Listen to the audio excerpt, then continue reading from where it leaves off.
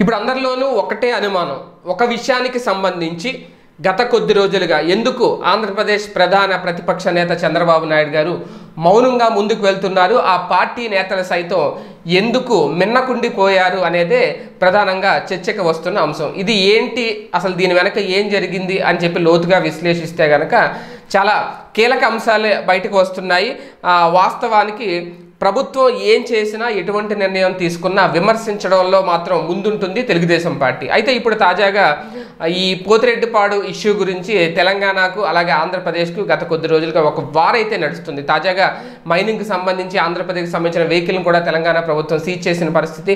అలాగే ఈ కృష్ణా జలాలు లిఫ్ట్ సంబంధించి ఒక ప్రాజెక్ట్ నిర్మించబోతున్నారు. అది ఏకాభిప్రాయంతో నిర్ణయం తీసుకున్నారు.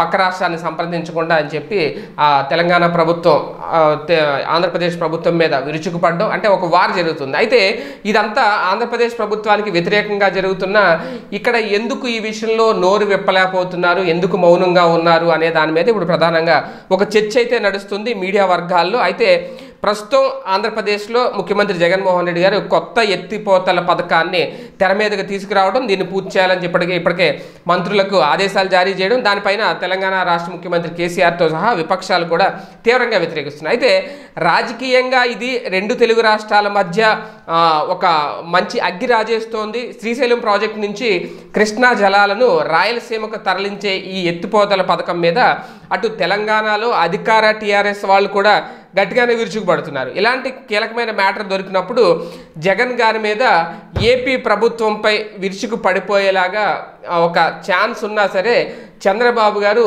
ఎందుకు మౌనం వహించారు అనే దాని మీద ఇప్పుడు చర్చ నడుస్తోంది. అయితే అక్కడితో ఆగకుండా తమ పార్టీ నేతలను కూడా కొద్ది రోజుల పాటు మౌనంగా ఉండాలి అని చెప్పి చంద్రబాబు గారు ఆదేశాలు జారీ చేశారు అనేది కూడా ఒక పక్క ప్రచారం జరుగుతుంది. అది వాస్తవా కాదని పక్కన పెడితే ఈ విషయంలో పొరపాటున ఏదైనా తొందరపడి ఒక నిర్ణయం తీసుకుంటే కనుక ఇప్పటికే తెలంగాణలో తెలుగుదేశం పార్టీ పరిస్థితి ఏంటి అనేది అంటే ఒక రకంగా చెప్పాలంటే అతి గతి లేకుండా ఒక ప్రశ్నార్థకంగా ఉంది కాబట్టి ఎక్కడ తొందరపడకూడదు.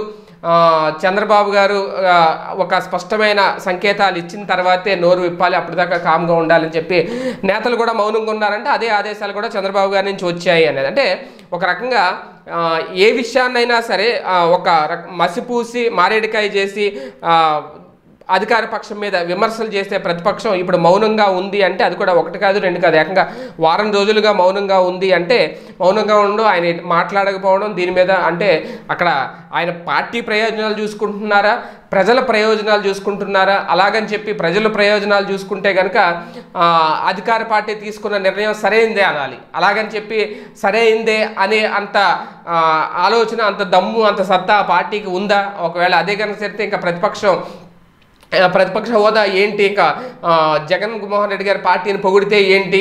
అనే ఒక ఏమన్నా నెగిటివ్ వస్తుందని అనుకుంటున్నారా? లేదంటే అధికార పార్టీకి పాజిటివ్ పెరిగిపోద్ది ప్రజల నుంచి అని ఆలోచించే సైలెంట్గా ఉన్నారా? ఏంటి అనేది తేలాల్సిన అంశం అయితే ఉంది. ఈ వీడియో గనక మీకు నచ్చినట్లయితే లైక్ చేయండి షేర్ చేయండి. మరిన్ని వీడియోస్ కోసం మా ఛానల్ను సబ్స్క్రైబ్ చేయండి.